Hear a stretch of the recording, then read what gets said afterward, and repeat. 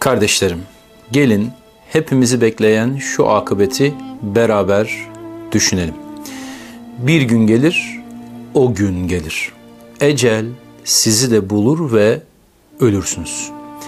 Öldükten bir müddet sonra en yakınlarınız olan oğlunuz, eşiniz, kardeşiniz tarafından karanlık bir toprağa gömülürsünüz.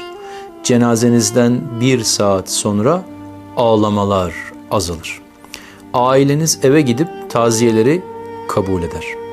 Bu sırada bedeniniz topraktaki böceklerle tanışır. Ruhunuz ise ameline göre muamele görmeye başlar.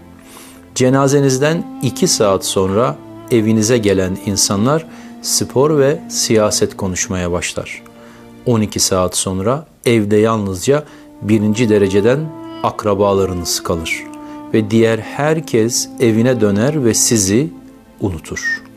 24 saat sonra iç organlarınız çözülmeye ve yavaş yavaş çürümeye başlar.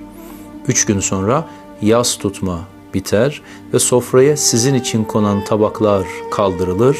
Evde olan elbiseleriniz ya dağıtılır, ya yakılır ya da bir yere kaldırılır. Bu sırada sizin bedeniniz şişmeye başlar. Ağzınıza ve burnunuza böcekler dolar. Kanınız organlarınızı çürütmeye başladığı için derinizin rengi değişir. Ruhunuz ise o tek kişilik kabir hapishanesinde dehşet içerisinde bekler.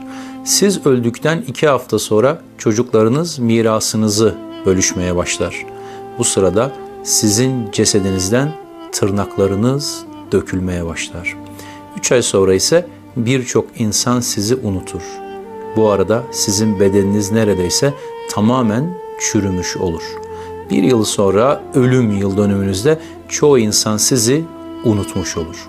Eğer aklına gelirse birisi size bir Fatiha okur. Bu arada kefeniniz bile çürümüş olur. Beş yıl sonra bir arkadaşınız eski bir fotoğrafta sizi görür ve hatırlar. Bu arada ise cesedinizden geriye sadece kemikler kalır. Ruhunuz ise yaşadığınız her anın, aldığınız her nefesin, attığınız her adımın, terk ettiğiniz her namazın, mazhar olduğunuz her nimetin hesabını vermekle meşguldür. Kardeşlerim, şimdi bunların hepsini düşünün.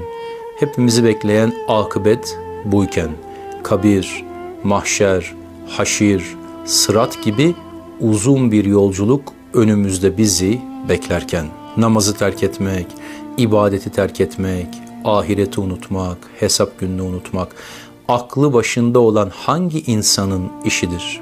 Bir insan bütün dünyanın sultanı da olsa neticede her şeyini burada bırakıp gidecek.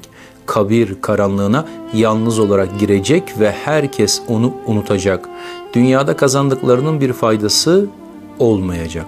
İnsan orada ameliyle baş başa kalacak ve kılmadığı her namaz için, işlediği her günah için hesaba çekilecek ve azap görecek.